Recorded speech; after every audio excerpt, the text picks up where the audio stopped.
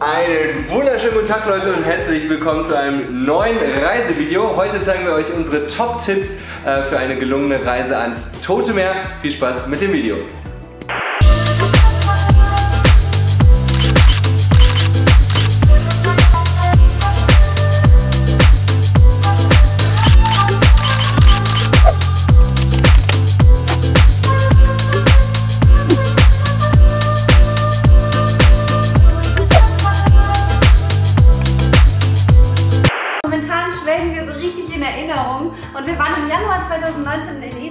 Haben irgendwie letztes festgestellt, wir haben das meiste oder fast, nein, alles nur auf Instagram gepostet und wir wollten einfach total gerne so ein paar Tipps und noch ein paar schöne Eindrücke aus Israel auch auf YouTube teilen. Genau, weil wir hatten echt noch ganz viele Videos, Ja. äh, die wir mit euch gar nicht geteilt hatten und das wäre eigentlich mega schade, wenn das irgendwie verloren geht.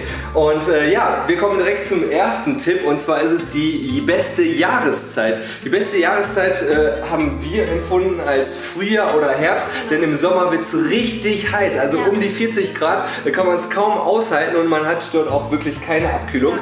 Wobei wir sagen müssen, äh, Pullis auf jeden Fall einpacken, oder? Ja, weil abends kühlt es total ab, aber leider trotzdem ist abkühlt, die Mücken werden nicht weniger.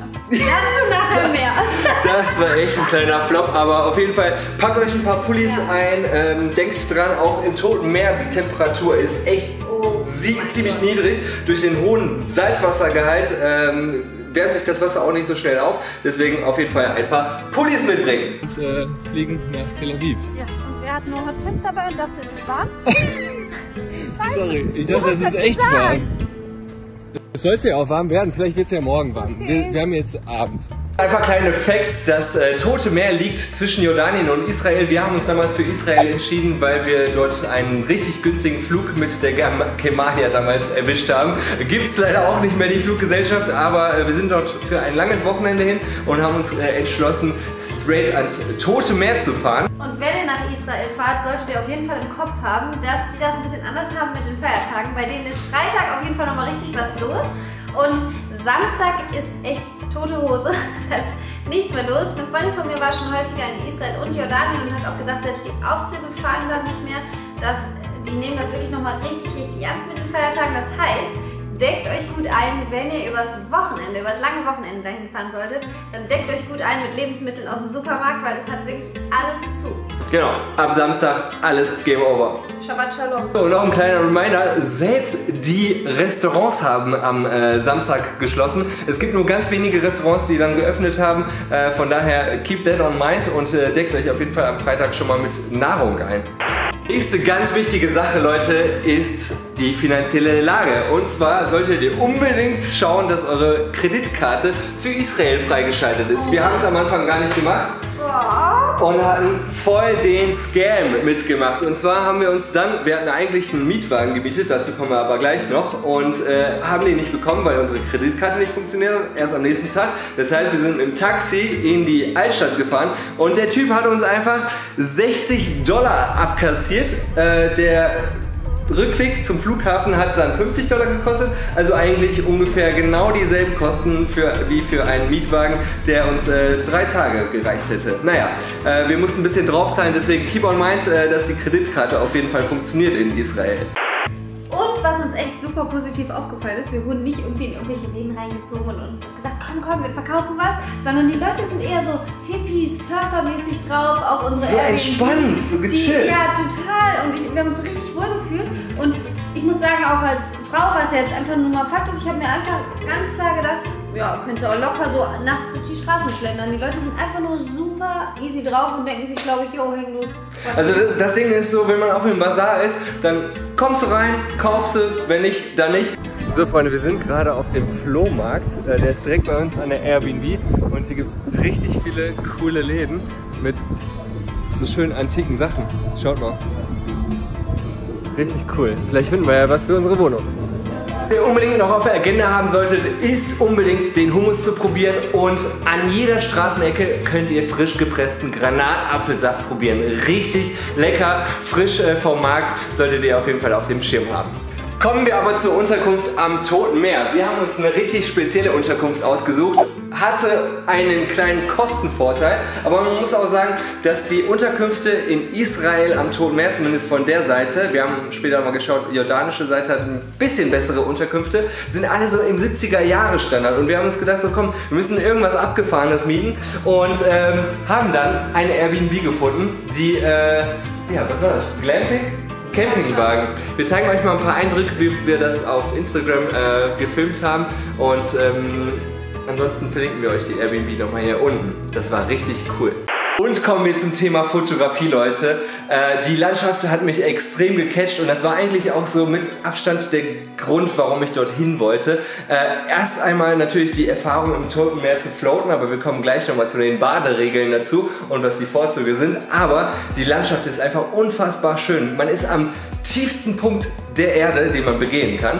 Und ähm, das Wasser ist so krass türkisblau. Ich weiß gar nicht, man kann es gar nicht beschreiben, man muss es echt gesehen haben. Und äh, die Farben, die verändern sich im Laufe des Tages. Und äh, normalerweise sage ich ja, ihr solltet mit dem Equipment auskommen, was ihr habt. Aber am Toten Meer lohnt es sich auf jeden Fall, ihn hier mitzunehmen, eine Drohne.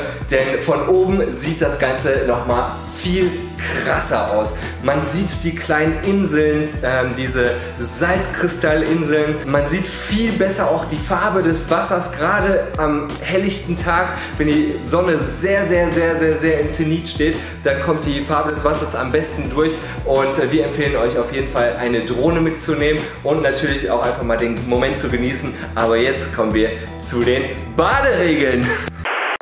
Und ich muss wirklich sagen, als ich aus dem Toten Meer kam, habe ich mir einfach nur gedacht, was hast du für eine Babyhaut? Das war so wunderschön. Ich habe erst gedacht, okay, einfach nur fallen lassen. Man soll ja auf jeden Fall auf dem Rücken, also verkehrt herum, sich ins Wasser fallen lassen. Und das war wunderschön. Danach war es einfach nur, die Haut war total babyhaft. Aber ich gebe euch auf jeden Fall einen Tipp hier an die Mädels. Nicht an demselben Tag Beine rasieren. Es brennt des Todes. Selbst wenn man irgendwo einen Mini-Ratscher hatte. Ich hatte, glaube ich, irgendwo, ich weiß gar nicht wo, nur eine kleine Macke und ich habe gesagt, oh Patrick, das tut so weh. Was ihr auf jeden Fall beachten solltet, ist, äh, dass ihr das Wasser nicht schlucken solltet. Also wir haben im Toten Meer einen Salzgehalt von 33% und im normalen Ozean haben wir einen Salzgehalt von 3%. Das heißt, es ist schon mal 30% mehr. Und äh, ehrlich gesagt, es fühlt sich komplett anders an als normales Wasser. Man fühlt sich so, als würde man in Olivenöl baden. Ganz, ganz, ganz, ganz strange. Wenn man rauskommt, die Badehose, der Badeanzug ist komplett, also so vollgesaugt und schwer. Ähm, eine ganz andere Erfahrung, mal zu baden. Aus diesem Grund solltet ihr auf jeden Fall auch noch eine Flasche Wasser mitnehmen, denn ihr dehydriert, wenn ihr im äh, Toten Meer schwimmt. Man sollte auch, glaube ich, maximal nur 30 Minuten schwimmen und äh, vor allem auch vermeiden, das Wasser zu schlucken, denn das kann auch manchmal tödlich wirken. Wir wollen euch nicht Angst machen, aber keep in mind, dass ihr das Wasser auf jeden Fall nicht schlucken solltet. Und falls ihr das mal probieren solltet, dann schmeckt es echt mega verdammt bitter auf der Zunge und äh, es kribbelt und tut irgendwie auch schon ein bisschen ja. weh. Ich finde auch, das brennt und das, wir haben halt einfach beobachtet, dass viele Leute, ja, wir haben erst gedacht, oh mein Gott, sind die leichtsinnig, aber du hast halt einfach gemerkt, die sind so unerfahren. Die sind einfach so reingegangen, als wenn man schwimmt und wir wollten ja auch zu dieser kleinen Insel, wo der Künstler diesen Baum hingestellt hat und ich habe dann erst mal gedacht, ich schwimme, ich schwimme. Dann ist ja gar nicht vorangekommen. Ich dachte irgendwie, ich bin schon 80 Kilometer gefühlt. Nein. Mit der Flasche Wasser könnt ihr natürlich auch euer Equipment reinigen, denn ihr werdet das Salzwasser überall an den Händen kleben haben. Und das ist nicht so, dass es einfach mal weggeht oder dass ihr euch das abreiben könnt. Nein, es bleibt einfach schlichtweg kleben. Deswegen unbedingt die Wasserflasche auch dazu nutzen, vielleicht die Hände zu waschen, wenn ihr Kameraequipment mitbringt. Und äh, dann auch noch natürlich ein kleines Handtuch, womit ihr eure Hände abtrocknen könnt. Und ihr müsst euch überlegen, nicht nur das Wasser, sondern auch wenn ihr auf den Boden lauft, also kurz vor dem Wasser, das ist eine unheimlich scharfe Salzkruste. Also nehmt euch echt Flipflops mit, weil das tut super weh an den Füßen. Und Patrick hat wenigstens nicht so Schmerzen gehabt wie ich, aber ich habe ich wollte gerade sagen, ich bin ja eigentlich relativ unempfindlich, was das angeht. Also ich kann auch richtig auf heißem Beton laufen. Aber da dachte ich mir so, scheiße, ich ja. laufe auf Rasierklingen. Also diese Salzkruste, die ihr an dem See vorfindet, die sollte man auf jeden Fall nicht unterschätzen und bringt auf jeden Fall entweder Flipflops mit oder irgendwelche Badeschuhe. Äh, das würden wir euch auf jeden Fall empfehlen zum Schonen der Füße. Und wir wünschen euch einfach viel Spaß am Toten Meer. Lehnt euch einfach zurück, entspannt euch, genießt die Ruhe und genießt einfach den wunderschönen Sonnenuntergang, der einfach nur Farben hat von Pink, Rot. Das war echt traumhaft. traumhaft. Wir würden, glaube ich, noch mal gerne ans Tote Meer fahren. Äh, wenn wir euch raten können, dann auf jeden Fall zumindest für zwei Tage hinzufahren. Äh, wer fotografieren möchte und wer Drohnenaufnahmen machen möchte, sollte vielleicht noch einen dritten Tag einplanen. Und äh, ansonsten wünsche ich euch viel Spaß und wir hoffen, euch hat das Video gefallen. Wenn es euch gefallen hat, gebt dem Video gerne einen Daumen nach oben, abonniert den Kanal und wir sehen uns im nächsten Video. Ciao, ciao!